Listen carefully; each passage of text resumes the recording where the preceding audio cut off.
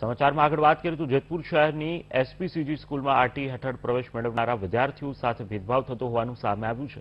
જેથી વાલીઓએ રોષ ભરાયા છે. સ્કૂલ મેનેજમેન્ટ આરટી હેઠળ પ્રવેશ મેળવનારા વિદ્યાર્થીઓ સાથે ઓરમાયું વર્તન કરે છે. આરટી હેઠળ પ્રવેશ મેળવનારા વિદ્યાર્થીઓને સ્કૂલમાં અલગ ક્લાસમાં બેસાડવામાં આવતી હોવાની વિગત સામે આવી છે. સાથે ટેબ્લેટ પણ આપવામાં નથી આવ્યા. જ્યારે ફી ભરીને એડમિશન લેનાર વિદ્યાર્થીઓને અભ્યાસ માટે ટેબ્લેટ પણ આપવામાં આવ્યા છે. જેથી વાલીઓએ સમાંતર શિક્ષણ આપવાની માંગણી સાથે રોષ વ્યક્ત કર્યો છે.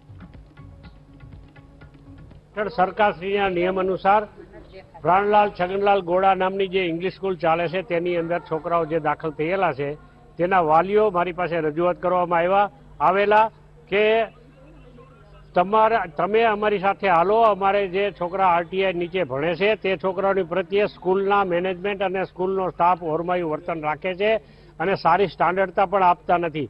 અને હમણાં જે સ્કૂલ મેનેજમેન્ટ તરફથી નક્કી કરવામાં આવ્યું છે કે દરેક છોકરા જે ફી ભરે છે, એને ટેબ્લેટ આપવામાં આવશે. તો ટેબ્લેટ પણ છોકરા જે ફી ભરે છે, એના એના વાલીઓ પાસેથી પૈસા લઈને ભરવા માટે આપે છે. પરંતુ આરટીઆઈ નીચે ભણતા હોય, એની પાસે પૈસા ન હોય, ગરીબ માણસો હોય, તો તો આરટીઆઈ દાખલ થયા હોય અને એડમિશન લીધું હોય. જો સરકારશ્રી આની સ્ટાન્ડર્ડતા ઊંચું લેવા માગતા હોય તો સરકારશ્રીએ પણ આમાં દરમિયાનગીરી કરી અને જે છોકરાઓને બીજાને ટેબ્લેટ આપે છે, તેમ આરટીઆઈ નીચે ભણતા છોકરાઓને પણ ટેબ્લેટ આપવા જોઈએ. અમારે એડમિશન થયું હતું ત્યારે કીધું હતું કે એક વર્ષ અલગ રાખો આરટી નો, બાકી પછી ભેગા કરી દેશે. હજી ચોથા સ્ટાન્ડર્ડમાં બાળકો આવી ગયા છે, પણ હજી ક્લાસ ભેગો નથી કર્યો. અમારી માંગ એ છે કે એના જે ક્લાસ છે જેટલા, એમાં અમારા છોકરાને ભેગા બેસાડે. હા તો એ જે લોકો એ ફી ભરે છે એ લોકોને અગિયાર અગિયાર હજાર લઈને ટેબ્લેટ દીધા છે. અમે આરટીઓ વાળાને આરટીઓ વાળાને કીધું છે કે તમને કે ટેબ્લેટ ને તમને પુસ્તકો મળી જશે, એમાં ભણવાનું થશે. વાત કરેલી જ છે કે ભાઈ એમાં તો કે તમારે મિટિંગ મેનેજમેન્ટ મિટિંગ કરીને અમે કહેશું, પણ આ ચાર વર્ષ કેટલા વેકેશન પહેલાની વાત છે, હજી કોઈ મીટિંગ જ નથી કરી અમારા પેરેન્ટ્સની કોઈ. મારા બેબી આ સ્કૂલમાં અંદર ભણે છે, મારી બેબીને અલગ ક્લાસમાં બેસાડે છે બીજાથી. અને મારા પ્રોબ્લેમ એ છે કે મારી બાળકને ટેબ્લેટ નથી મળતું.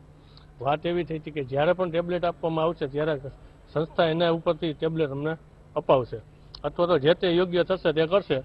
પણ અત્યારે એ વસ્તુનું કાંઈ નથી અને એવું કીધું કે અમને અહીંયાથી પુસ્તક આપવામાં આવશે અને એ પુસ્તકમાં જ બાળકને ભણવામાં આવશે. હવે અમારા બાળક અમારા આરટીમાંથી આવે છે, અમે મધ્યમ વર્ગના પરિસ્થિતિમાંથી છીએ એટલે અમારા બાળકને અલગ બેસાડે છે. બીજી વસ્તુ એ છે કે અહીંયા જે એનું કહેવાનું એમ છે કે આના જે પહેલેથી ભણે છે એ બાળકનું સ્તર ઊંચું હોય, માન- માનસિક. અને અમારા બાળકનું સ્તર નીચું હોય એવું કઈ રીતના બની શકે? નાનો? એના પૈસા ભરે છે, એટલે એનું સ્તર ઊંચું હોય ને અમે પૈસા નથી ભરતા, અમને ગવર્મેન્ટ તરફથી મળે છે, એટલે અમારા બાળક નીચા એમ. અમારી માંગ એવી છે કે અમારા બાળકને બધા સાથે